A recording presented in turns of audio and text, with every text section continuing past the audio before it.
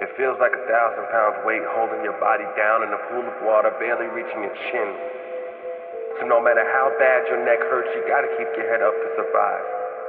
It's how much you hate now, and every second after it.